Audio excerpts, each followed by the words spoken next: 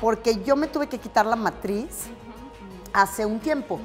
eh, porque, bueno, porque tenía una situación en la matriz que podía desembocar en un cáncer. Aprende a no hacer nada. No hacer nada también es hacer algo.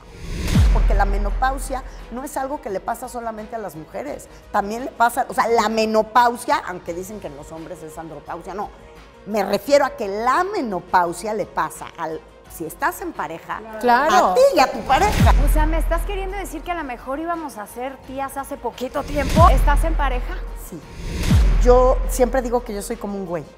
Entonces yo soy la que necesito espacio. Esta persona me hace daño, es tóxica en mi vida, no Ay, la quiero. sí. Siempre creo que en la vida todo, empezando por los maridos, tienen fecha de caducidad.